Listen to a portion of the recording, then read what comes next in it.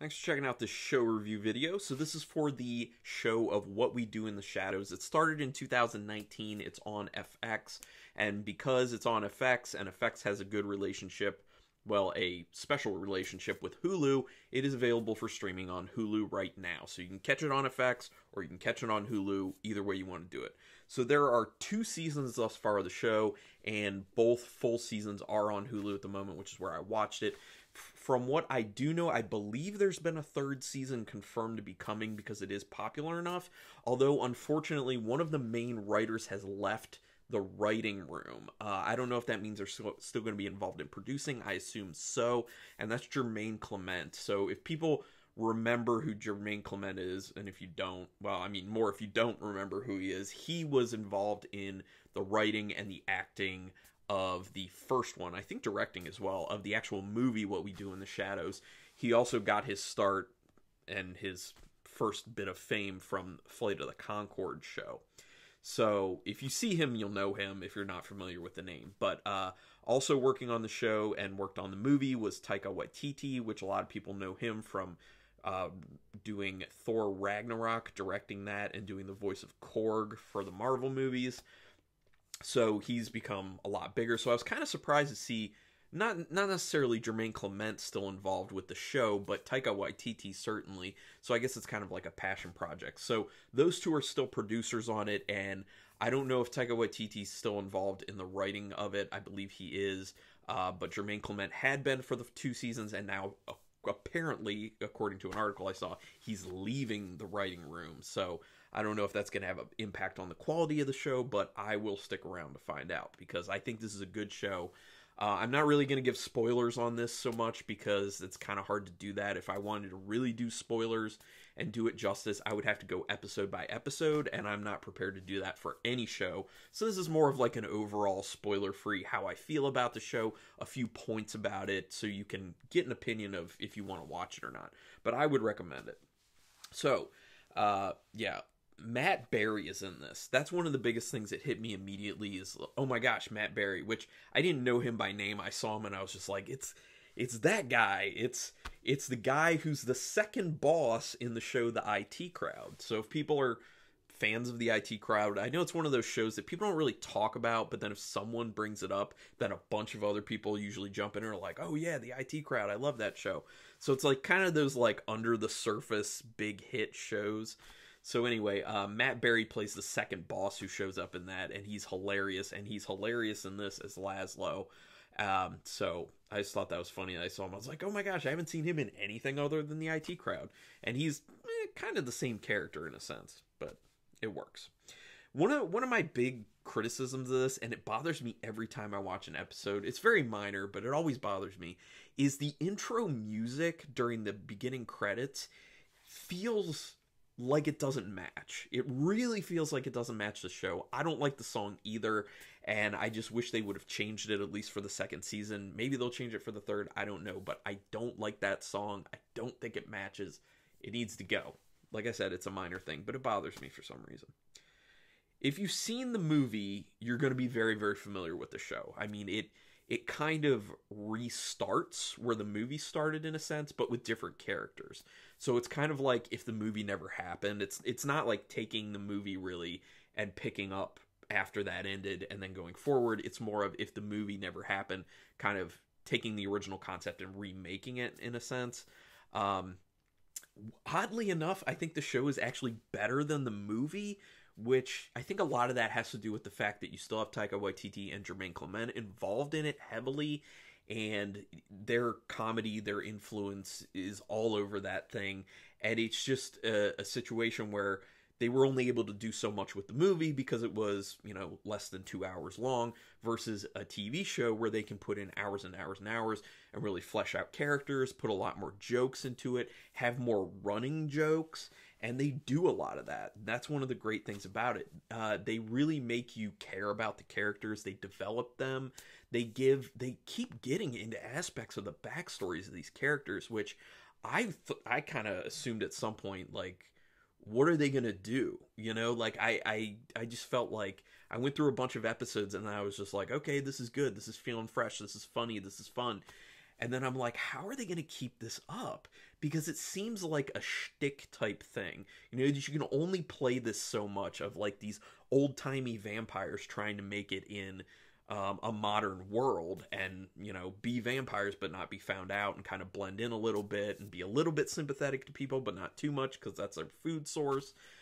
But it just it stays fresh and that's one of the crazy things to me the writing is so good and the acting is so good uh, it it stays fresh and it and it blows my mind that through two seasons it's still super fresh uh, there are a few episodes that are a little less exciting than other ones but I, I didn't see a single episode where I was like, oh, that wasn't a good one. They're all good or great. So it's pretty impressive in my opinion. But that's part of the reason too I'm a little bit concerned about Jermaine Clement leaving because I don't know to what degree he was driving things in the writing room. So we'll see.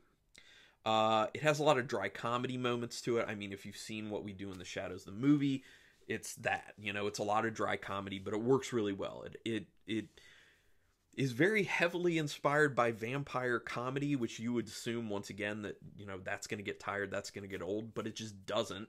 They just keep somehow making it fresh. And part of the reason part of the reason it stays fresh is like I was saying, they keep giving new aspects of the characters. Like they keep revealing things about their past. They keep revealing things about their interests, their hobbies, you know, all these things. And um it works. It works really well. And then when they kind of get past some of that, when they get a little bit bored, they introduce other characters, they introduce other types of beings.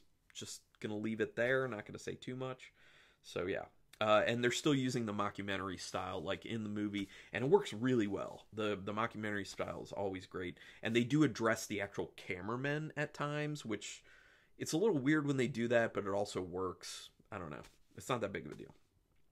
They added an energy vampire to this, which I was very happy about. And if anyone's seen the show Better Call Saul, uh, the guy who plays the energy vampire in it is, was in Better Call Saul as the guy who was dealing prescription drugs, who bought the big Hummer, flashy Hummer. Um, you'll know what I mean if you've seen it, but uh, guy's hilarious and he, it works really well. The aspect of adding in that more modern vampire, the energy vampire, opens up a lot more possibilities, and he's potentially my favorite character. I actually think he is. It's between him and Guillermo, and Guillermo is actually who they really focus a lot on in the show. He's the familiar for the one vampire, Nandor. Um, so they kind of look at everything mainly through his eyes because he's up night and day basically so they can kind of cover a lot more plus it's more interesting from his perspective because he interacts with everyone and he doesn't just interact within the house he goes out and goes into society and you know and the cool thing too is he his character I think kind of develops the most. He has the most actual story going on, and I think that's probably why they set it up as him kind of being the focal point in the very beginning in the first season, and he, it works great. He's an awesome character, so he's actually one of my favorites, Guillermo, and then also Colin Robinson, who's the energy vampire, which there's just a lot of interesting, funny things about that one. Um, how they portray the modernization of the old vampires is really really good and how they kind of try and struggle with this like keeping to their old ways and keeping to vampire tradition and old tradition yet also trying to be like newer and hipper and more connected with society. There are a lot of jokes that kind of revolve around you know the past and the present clashing and it's once again, it's one of those things that you would think, oh, well, this is going to get old, but it just doesn't. They, they keep coming up with fresh ways to present the same types of jokes, and it, it's just good. Uh, there's some really excellent cameos in this, by the way, specifically the Vampire Council. And that's all I'm going to say about that. When you get to the episode with the introduction of the Vampire Council, oh my gosh, the cameos. Amazing. Uh, I also wrote down if you're introduced, and you should assume this because this is kind of how shows work in general. If you're introduced to a random character, most likely they're gonna die.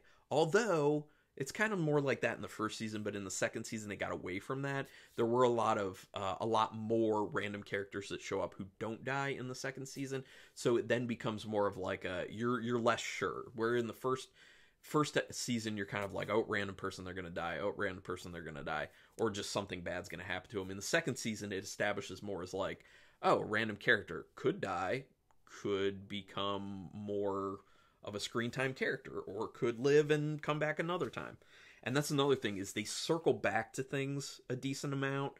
So it, it's i mean it's smart writing and it's really good because they'll have something happen and then a bunch of episodes later they kind of circle back to that happening in another way. Uh, so there's a lot of interconnectedness. It's it's definitely a show that you shouldn't just be like oh i'll catch an episode here or there. No all the way through chronological order which most people watch shows that way but i know some people who don't. I know people who are literally like oh if this one just happens to be on i'll just watch it. Uh, it doesn't matter what ones i catch. This show really benefits a lot from watching the whole thing in, in order um, it's pretty surprising they have so many jokes to play with. It stays fresh. Yes, I basically already said that. Uh, they do a good job of continually revealing more aspects of the character, especially Guillermo. Guillermo's story arc is very, very interesting. Not just fun, but interesting. And you'll see why. Uh, the finale of season two was pretty crazy. Uh, I'm surprised it was that crazy, and it really set it up well for another season. Um, that's another thing they have good kind of like ending points for all their episodes, so I really like the way that's done. And then my last thing, as I said, sadly, Jermaine Clement, like I said, I don't know. He might still be producing and involved in some way, but he's not going to be in the writers' room at least. So anyway, uh, really like the show, really highly um, endorse it. It's not endorse it, recommend it. Sorry, I just got done working today, so I'm kind of a little bit drained. No, I highly recommend it unless you're one of those people who, you know, you don't really particularly like vampire stuff or you don't like drier comedy.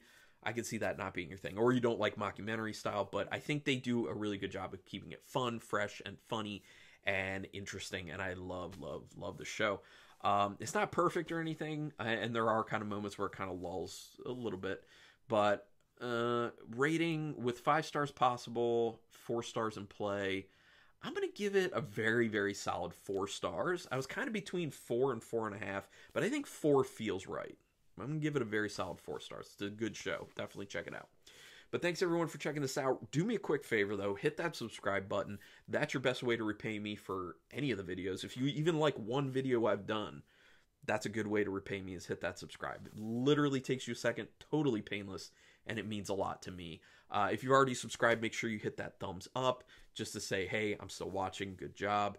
Uh, and then if you're going to subscribe now, if you've already subscribed, make sure you hit the notification bell, and that will let you know anytime I put up a new video, but also when I'm doing my live streams, because I'm doing that bi weekly.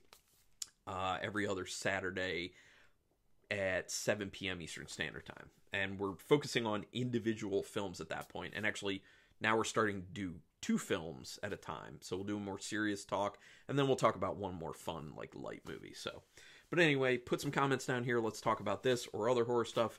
But thanks, regardless, for taking your time and watching this. And until next time, keep it brutal.